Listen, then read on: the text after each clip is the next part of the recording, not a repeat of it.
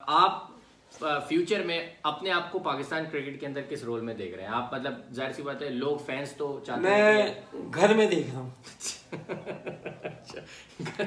नहीं घर मतलब में अपने बैठा हुआ अभी देखना अच्छा लग रहा देखिए, अभी अब सवाल हमारे पास है आप अभी पीसीबी ने आपको इनवाइट किया था इंडिया श्रीलंका और पाकिस्तान के टेस्ट मैच पर इस्लामाबाद में। ऑनर दिया आपको वहाँ फेस सेविंग थी चला गया था। जी। अच्छा एक अच्छा ये मुझे बताओ। तुम्हारे चैनल पे कि। यार एक आदमी ने आज मैं कहीं भी पीसीबी में नहीं हूँ। क्यों नहीं हूँ? जी। इनको आपको रखना चाहिए?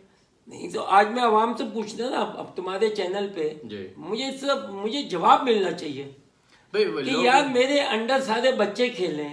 मैंने क्रिकेट को कहाँ से कहाँ लेके आया हूँ? हर चीज़ ली है हर चीज़ हूँ। मैं कैपेबल माशाल्लाह बहुत। जी, जी, जी। मैं दुनिया में है ना मेरे से किसी को भी लाओ अल्हम्दुलिल्लाह मैं अल्लाह के माफ़ी करके और काम पकड़। के यस मेरे सामने कोई मैं सामने खड़ा होगा बच्चा बता दूँगा। मैं उसको एक एक चीज़ चेंज करा सकता जी जी वो तो खैर सबको पता है हम लोग इस मुल्क ने पैदा किया। मैं पाकिस्तानी हूँ पाकिस्तान ने पैदा किया।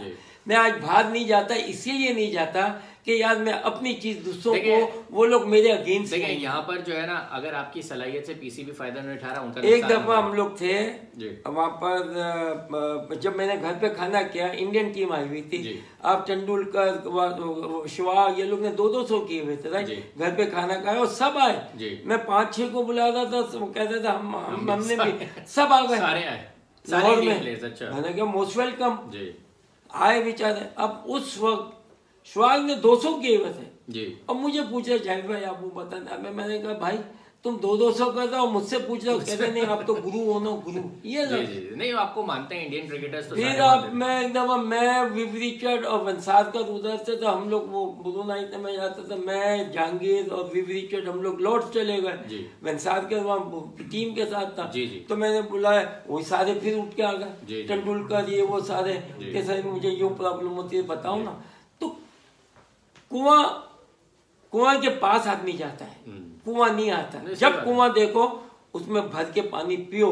हो सकता है कि तुम्हें पता चलेगा इस कुएँ का पानी कैसा जी जी व्यूअर्स नेक्स्ट पार्ट मेरा आने वाला है। उसके अंदर जावेद मामा के साथ बहुत सारी ज़बरदस्त बातें जो हम अगले पार्ट के अंदर आपको बताएँगे। तो stay tune and make sure you subscribe the channel